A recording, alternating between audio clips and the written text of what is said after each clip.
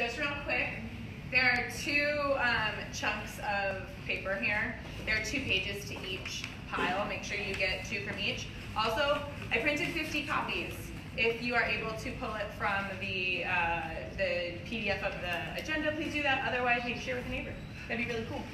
So I guess that's, yeah. All right, so um, four of us here, five because you're on ex officio.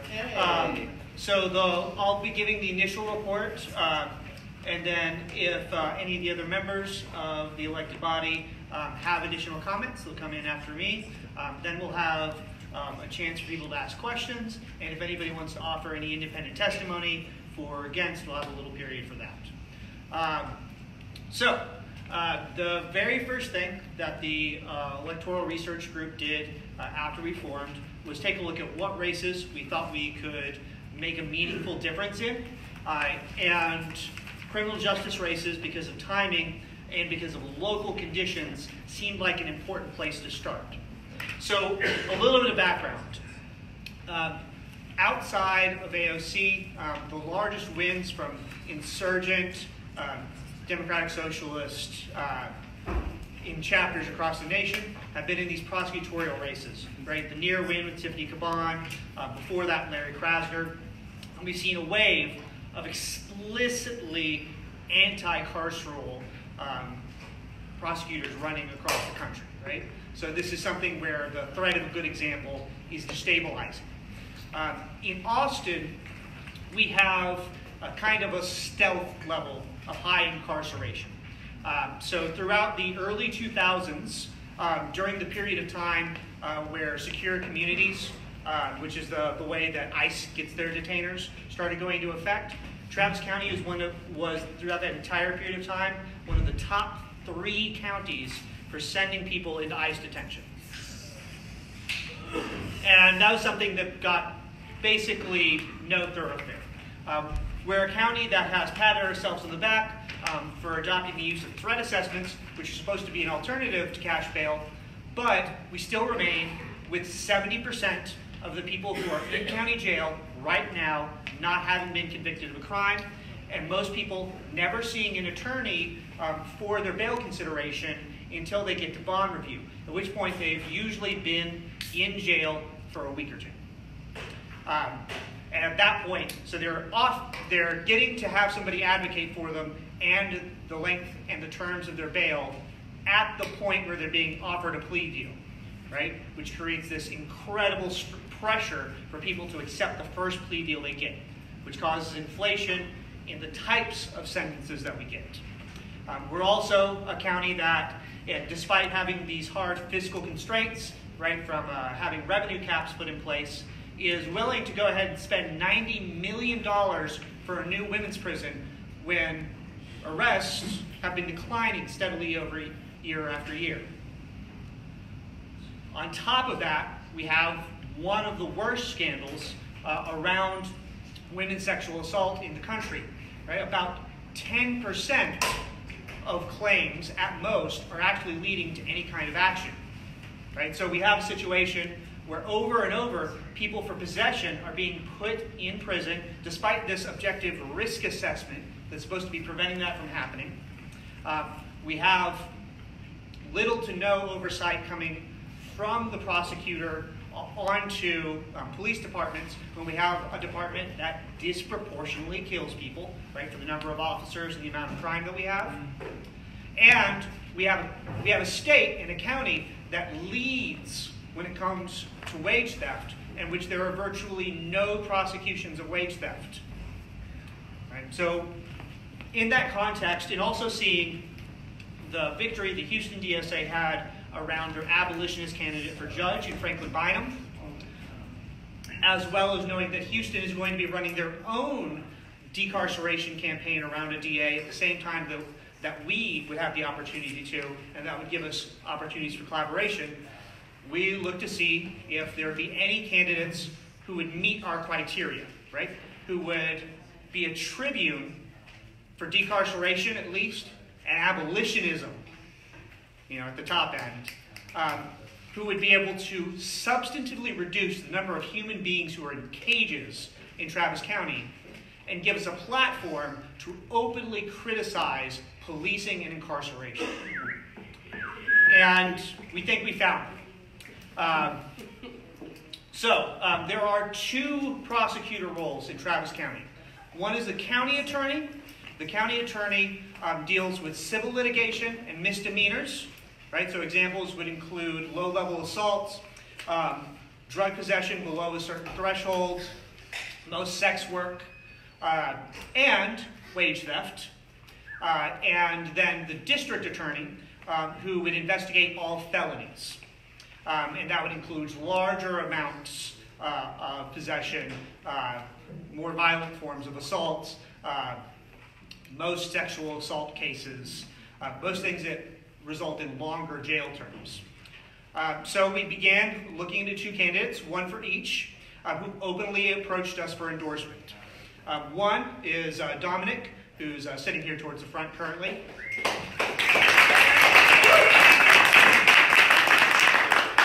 I'm going to start with Dominic um, and kind of the, the situation as we see it. So the ca- former county attorney is retiring, so there's no incumbent in this race. Um, there's also very little visibility. Typically, the donations into the county attorney race are much smaller than they are for the district attorney race. Um, you will see virtually no unpaid door knockers for these kinds of campaigns. And the area overlaps with Travis County, so a significant portion of District 25. Uh, Dominic's background is as first someone who's formerly incarcerated um, for a DWI, uh, who was unable to get out of uh, lockup because he wasn't able to get bail initially, right? Who directly experienced our criminal justice system here in Travis County. Then, as a union steward for AT&T, um, where he was spoken highly of uh, and worked on you know, grievances uh, for uh, grievances for his fellow uh, workers. Uh, then became a defense attorney and an organizer of Texas Advocates for Justice, which is an abolitionist group uh, effect, comprised of people who are directly impacted by the criminal justice system um, here in Austin. So um, our first encounter with Dominic was not uh, with him seeking our endorsement. The first time that anybody in Austin DSA met Dominic Selvera uh, was when he came to our second Homes Not Handcuffs canvas. Uh, he went, before he joined, uh, went to more of those canvases than I would say most of our members did, mm-hmm. um, knocking on hundreds of doors for decriminalizing homelessness and poverty here in Austin. Um, we only found out he was running because he was regularly coming to our criminal justice meetings and at some point, uh, me and I think Ashkan were mentioning that it would be strategic if we could get somebody to run for county attorney. And he's like, oh, I am. so uh, this race, uh, because there's no incumbent, um, is going to fill up. Right now, there are four people who are essentially running, um, and there's likely to be five. So the likelihood that this is a race that goes to a runoff is very high. Um, I would say that there probably is a favorite right now. Um, the, the front runner is probably Delia Garza, despite the fact that she hasn't declared. Um, and uh, to, truth be told, she did actually initially approach us, um, but didn't follow through on you know, uh, going to our interviews or disclosing elements of her platform. And while I have great, uh, great interactions with uh, Delia, and I, you know, I think that she's done a, a, fairly decent job as city council member. It was important for us to look and see how far we can push our platform. Um, and I think that we were all fairly shocked um, at the level of moral clarity um, that, that Dominic has uh, around these issues. Um, when the issue of sex work was first brought up, um, I think that my impression was that he had been exposed to the Nordic model and it took exactly one explanation of why groups like SWOP uh, and other sex working uh, advocacy groups preferred a full decriminalization model for him to just declare that that was the moral stance. Um, other candidates uh, picked particular drugs that they would want to decriminalize. Dominic is the only one I've heard who has said there's no reason why anyone coming through the county attorney office would serve time for possession.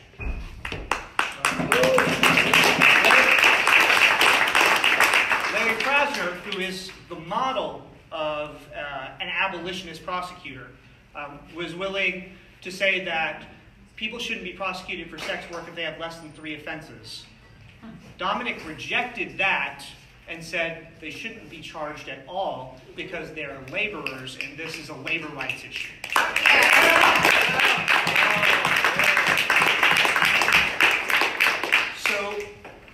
This race, to be honest, is likely to be a bit of an uphill battle. There are so many voices, and I think it is very likely that no one will break the 50% mark, which means that if we commit to this, we are likely committing to a runoff. Um, the good news is a huge amount of population and a huge amount of the black and brown population of Travis County lives in District 25. Um, and we are already running um, canvases and campaigns centered around issues. Sorry? They don't know what District Oh, 25 is. oh, sorry. Uh, district 25, Heidi's district. Uh, yeah, So congratulations. what he's saying, we're already canvassing in District twenty-five, so we endorse this, we would just be talking about both candidates at the same time at the door. So that's why it's like not hard to do if we chose to endorse. In a- right, continue. In addition, we're already planning issue canvases um, for Heidi Sloan around criminal justice and decarceration, right? Particularly ending cash bail and decriminalizing a broad swath of offenses. Um, so our ability to talk to people, um, you know, in these communities about something that directly affects them, right? Because people are shocked when you tell them how many people who haven't been convicted are in cages in Travis County right now. Um, on other issues, um, as I stated earlier, despite the fact that Texas is one of the few places where wage theft is a criminal offense and not a civil offense, the county attorney does not prosecute wage theft for the most, most part. Dominic was uh, very eager to tell us how aggressively he would prosecute that.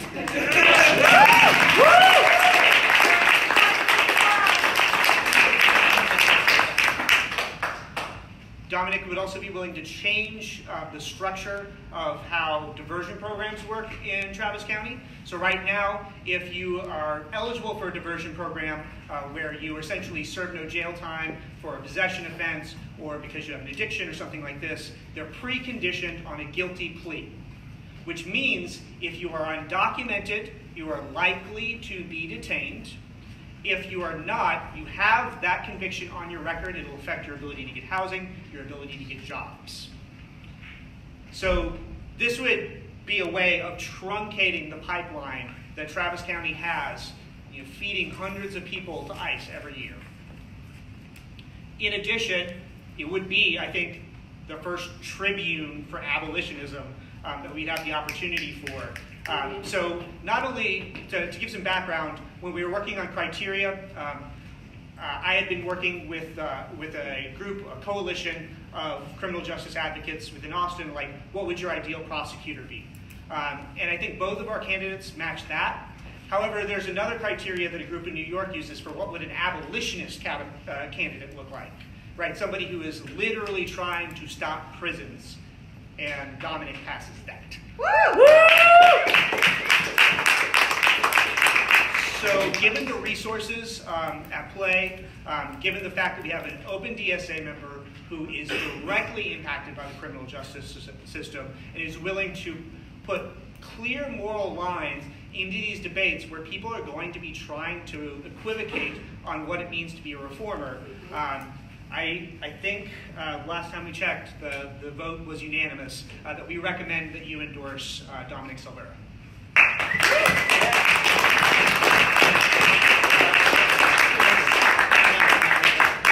I was, I was going to do all the Okay, Dominic stuff. okay, okay.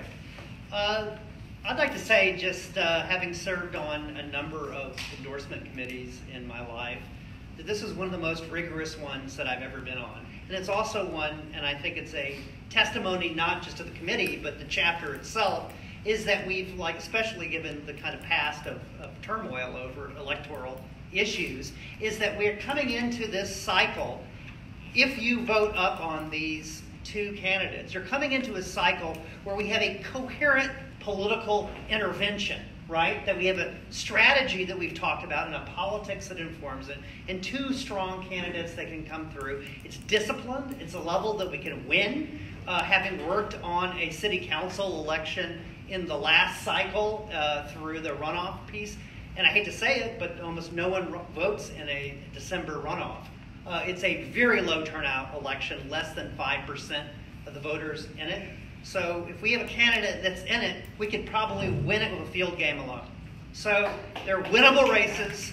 Uh, we have a coherent strategy. We have like this chance to like really push the city on you know criminal justice issues in a qualitative way. And I think it's an exciting opportunity. And normally I would say let the report speak for itself, but I think that we should vote up on both of these candidates. And I think that the committee did a, a great job in being very rigorous and lots of due diligence in their research.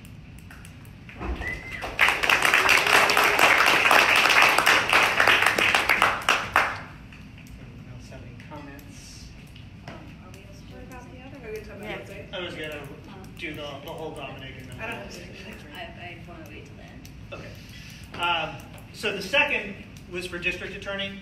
Um, so Jose Garza um, is the current director of Workers Defense uh, Project. For those of you who are not familiar, uh, Workers Defense Project is a, um, a group that's membership based and organizes primarily construction workers who are undocumented around issues of wage theft and labor. Um, so they have been our partners on many issues, um, including Freedom Cities, paid sick leave. Uh, Freedom Cities was a measure to reduce arrest uh, around discretionary arrest like possession and driving without a license. Um, paid sick leave, I hope you're all familiar with, uh, but they worked heavily with us on that. Um, and over and even on, um, on homes not handcuffs. Um, so they're a group whose membership overlaps heavily with ours uh, and who have been work, doing work similar to ours um, at the city level for you know probably 10 years before Austin DSA exploded. Um, so they're a close ally um, with deep connections to labor. Um, so Jose's background in particular um, was that he was a federal public defender um, near the border. He then worked uh, on policy positions um, for the Department of Labor, including things, uh, including things like uh, trying to get paid sick leave passed at the national level, uh, and then finally came to work on Workers' Defense Project. Um, in terms of his platform, I think, as, as you mentioned before, it's very complementary. He is the candidate with the strongest institutional connections with DSA. Um, many of his immediate coworkers and employees are DSA members.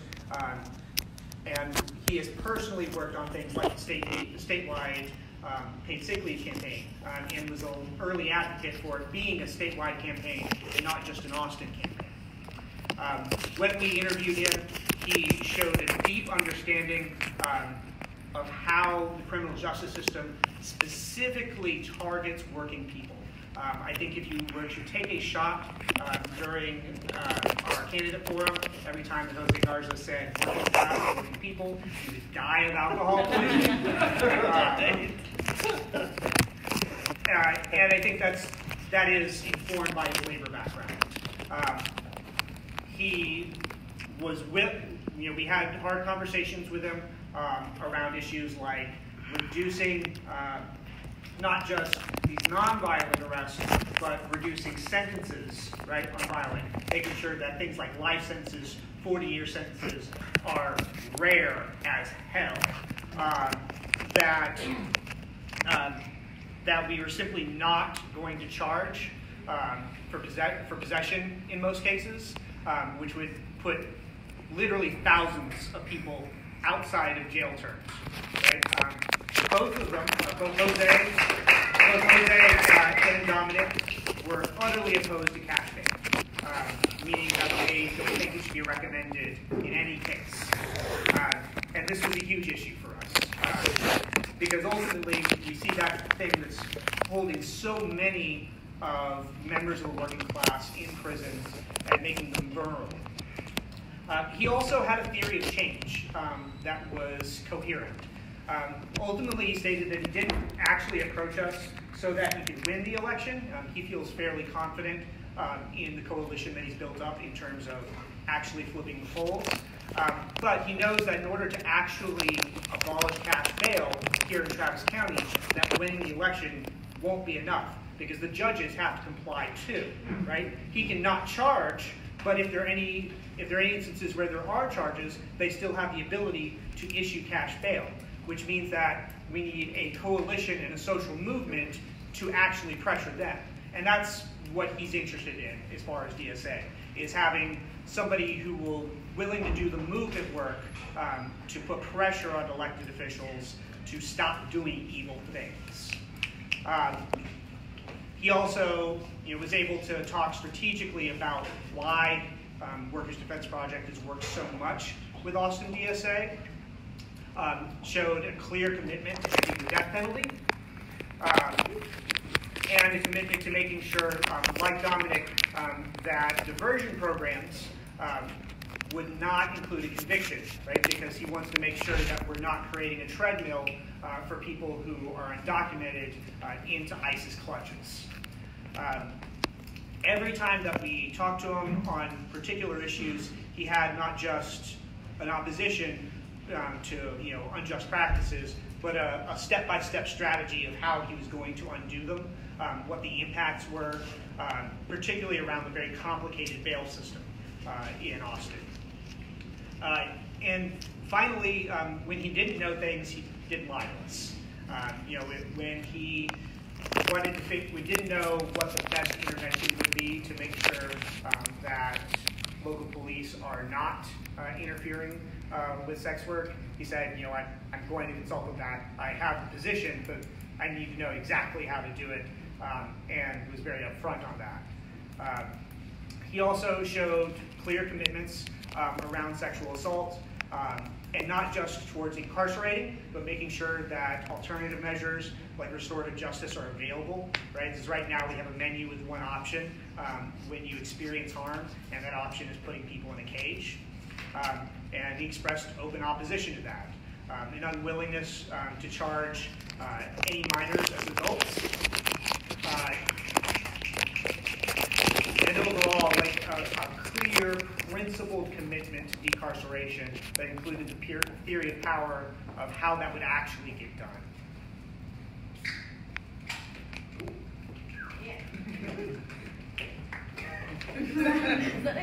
that, that's, that, that, was, that was my comments. Okay.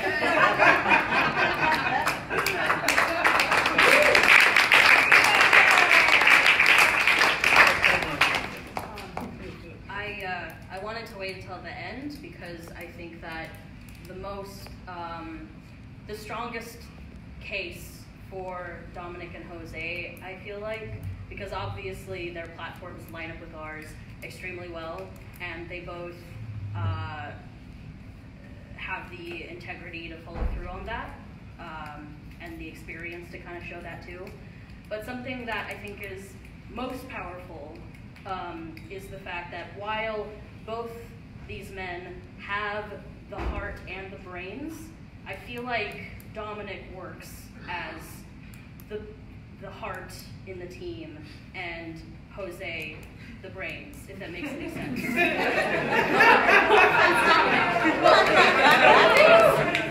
both, of, both of them have both of those things. I swear, that wasn't shady. um, but my point in saying that is I think that they work best as a team. Um, and I think that that is the greatest strategy. And that they both understand uh, that we need to motivate the working class uh, as people, and they're not going to be able to do it alone. Nobody could do it alone. And and again, while they both have the hearts and the brains, I think that uh, Dominic can really motivate the hearts of people, and Jose can really motivate the brains of people. And I think that that's the biggest strength uh, for this team. So that's all I. Also, Dominic is a on paper member of DSA. That too.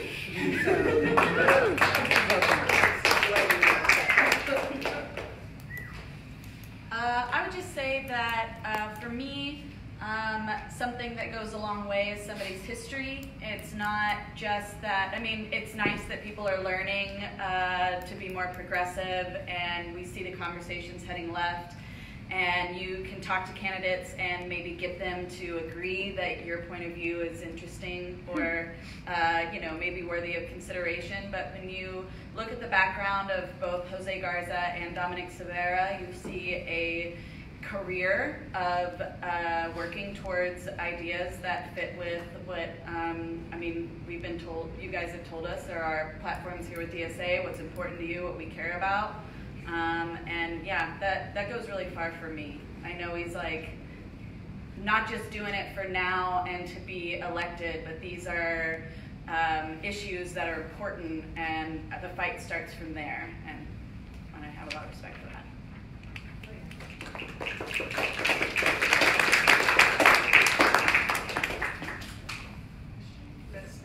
Oh, uh, one, one closing comment. Um, so what they, that I left out, you know, we had our, our, uh, our candidate forum, and I think it went great. Like, the amount that people learned about the evil of, of uh, criminal justice here in, in Travis County um, was really like high quality. Um, but I'd also, something that really struck me, because I went back and watched both that forum and uh, Austin Police Association forum, kind of back to back. Um, both Dominic and Jose said the exact same shit to the cops. They said, Uh,